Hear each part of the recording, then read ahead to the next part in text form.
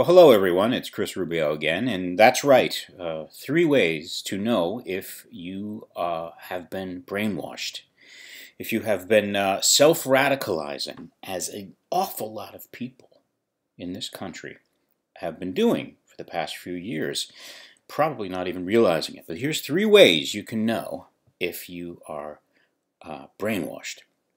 Uh, way number one: if you say you're at someone's house and you're uh, you go in their house and they've got the TV on, and on the TV is that horrible, horrible news program that you just can't stand. You're like, oh, oh, they're watching that. I hate, I hate that that that channel.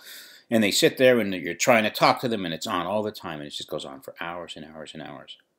And then you go home. Oh, it's so good to be home, right? It's just, oh your own place. And you click on the channel and you put on your news channel you put on the news that you like, that you can watch for hours, and you like this person because this person says it this way, and I like that person because that person says it that way. Ooh, they really say the way I feel.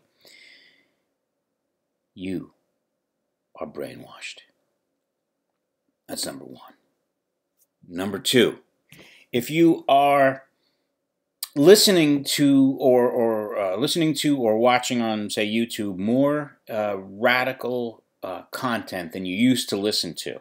Um, maybe you listen to that. Uh, maybe you should watch that that cable news channel I just mentioned, but you don't really watch it anymore because you're like, eh, they don't really they don't really get it. This guy, this guy on this this YouTube channel, oh, he really gets it because he really gets in there. He really gives it to them.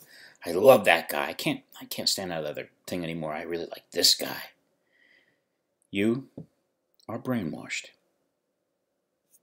Number three, and this is actually uh, the worst of all, but very, very serious.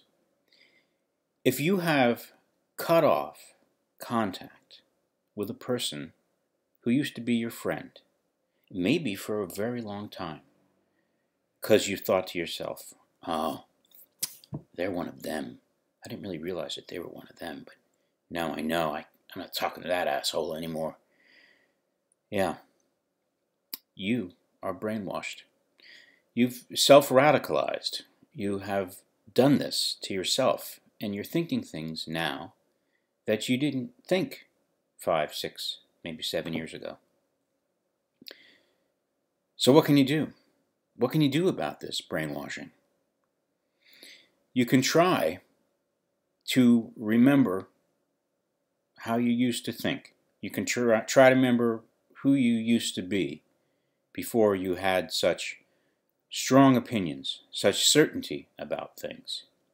Because I think you'll find, as I have done myself, that uh, I've gotten a little carried away with things, and and some of the things I was I found myself thinking, I I found myself surprised at myself for some of the knee-jerk thoughts I've had about things and people and and such. And uh, I realized, hmm, maybe I need to step back a little bit and think about who I used to be and why I used to be who I used to be, and and maybe, maybe, just maybe, I can get back there again. So that's the uh, that's the end of tonight's uh, diatribe. I'm Chris Rubeo, asking you to please think it over. You like that? I got a tagline.